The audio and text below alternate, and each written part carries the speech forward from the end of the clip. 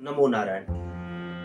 मैं वेद शास्त्री आचार्य पवन दत्त मिश्र, और आप देख रहे हैं अस्तित्व टीवी, जिसके माध्यम से आज मैं आया हूँ आपके घर के अंदर रखी हुई वस्तुएँ, और आपके घर के अंदर रसोई में रखी हुई जो जो वस्तुएँ हैं, वो आपके लिए कितनी उपयोगी साबित हो रही हैं, और उनका आध्यात्मिक रीजन क्या है, और उनकी आध्यात्मिक कड़ी क्या है। आज हम बताते हैं उन्हीं सब चीज़ों में से जो हम जिस पर कभी ध्यान नहीं देते, लेकिन हमारे जीवन में सभी अनिष्टों को दूर करने वाली और हमें अशांत मन से शांत करने वाली हमारे घर में रखी हुई बहुत छोटे छोटे दाने वाली पीली सरसों।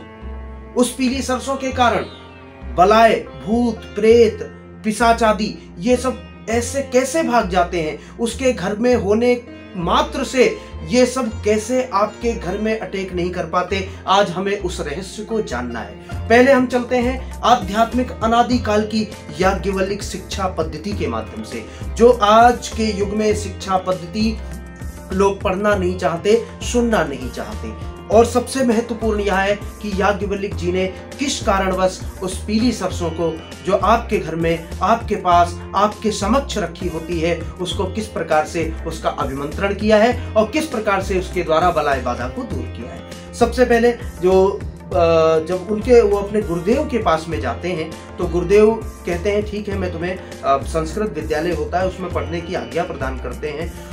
कुछ ही वर्ष बाद वहाँ के जो राजा होते हैं, वो राजा उनके पास मिलने के लिए आते हैं और वो कहते हैं, ये बालक बहुत पुष्ट है और बहुत ज्ञानवान है। इसको हमारे घर पे भेजिए, मुझे इसको कुछ खिलाना है। तो खिलाने के लिए लेकर के जाते हैं राजा साहब, भोजन करवाते हैं, सब कुछ करा करके और जैसे ही याज्ञवल्लिक जी महाराज घर से बाहर निकलते हैं तो अपने बाम हस्त में, बाएँ हाथ में वो अक्षत लेते हैं और राजा और रानी से कहते हैं कि आप यहाँ खड़े हो जाइए, मुझे आपको आशीष प्रदान करना है। लेकिन राजा और रानी अभिमान में चूर होते हैं और वो हमेशा यही कहते हैं कि ये छोटा बालक है, मुझे आशीष क्या प्रदान करेगा? लेकिन वो कहते हैं, जो हमने खाया है, उसका आशीर्वाद हमें देना ही है। तो राजा का जो महल का गेट है, चौखट उस पे उन्होंने श्रीर वर्चस्व आयुष्यम आरोग्य विधात पवमानम मयते धान्यम धनम पशुम बहुपुत्र लाभम। सत संवत्सरम दीर्घमायु। स्वस्थ कुशलमस्तु चिरायुरस्तु हे राजन, हे रानी, आपने आशीर्वाद नहीं लिया, लेकिन मैं वरदान देता हूँ कि आपके आने वाली पीढ़ी भी इस राज्य भवन में सदा सर्वदा राज्य करेगी। ऐसा आशीर्वाद दिया। तो जैसे ही उन्होंने अक्षत छोड़े, चौखट हरी हो गई। उसमें से पत्ते निकलने लगे। राजा ने सोचा अरे, ये तो हमने बहुत बड़ा अपराध किया, बहुत बड़ी गलती की है। भागे भागे, गुरुदेव के पास आए, कहा कि, गुरुवर, इससे आशीर्वाद पुनः दिलवाइए, नहीं तो हम क्या करेंगे? हमें इससे आशीर्वाद लेना चाहिए। गुरुदेव ने कहा, नहीं माने। और जब नहीं माने तो उन्होंने कहा कि, ठीक है, राजा के कहने मात्र से कि राजा अड़ गए। और उन्होंने कहा कि, अगर जो ये आशीर्वाद प्रदान नहीं करता है तो इसको विद्यालय से दूर किया जाए, संस्कृत विद्यालय से इसको घर भेज दिया जाए, इसको आगे की पढ़ाई ना करवाई जाए। तो उन्होंने गुरुवर ने कहा कि ठीक है, अगर जो तुम नहीं चाहते हो आशीर्वाद देना राजा, राजन को तो जितनी विद्या मैंने तुम्हें पढ़ाई है, वो सब विद्या मुझे वापस कर दो।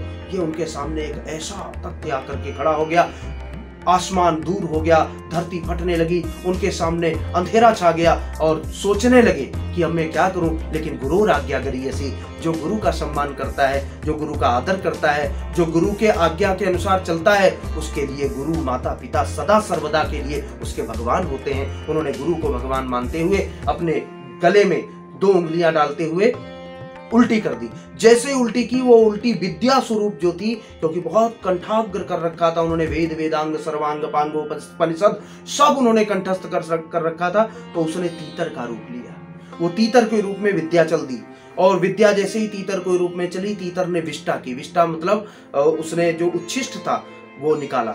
जैसे ही पेट में निकला हुआ उच्छिष्ट निकला तो आपने ध्यान दिया होगा, नहीं ध्यान दिया होगा तो आप इसकी जानकारी कर सकते हैं। जो तीतर की विष्टा होती है, वो पीली सरसों जैसी होती है। और पीली सरसों वहाँ से उत्पन्न हुई तो राजा ने कहा, ये क्या है?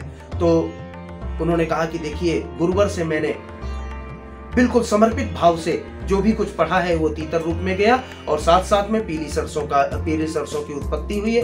इस पीली सरसों में इतनी ताकत है कि भूत, प्रेत, पिशाच आदि जो भी कुछ होंगे, वो आप बाएँ हाथ में रखिए और रक्षो हनम बलगहनम वैष्णवी विदम अंतम बलगम किरा मिजम मेन शिव जम माती चकाने दम अंतम बलगम किरा इस प्रकार का एक बड़ा मंत्र है, उससे अभिमंत्रित करिए। अभिमंत्रित करने के बाद में दसों दिशाओं में छोड़ दीजिए।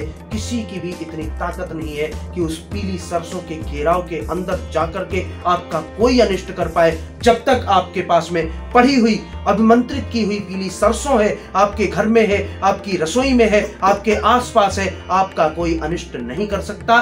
ये यथार्थ, अकाट्य, सत्य है और मैं बतलाता रहूँगा इस अस्तित्व टीवी के माध्यम से कि आपके रसोई में रखे हुए कौन कौन सी और चीज़ें जो आपके लिए सदुपयोगी हैं, बहुपयोगी हैं शनमार्गी हैं और साथ साथ में आपको प्रचुर धन धान्य से समृद्धवान कर सकती हैं। आपके मन अशांत को दूर करते हुए आपके घर में शांति और समृद्धि प्रदान कर सकते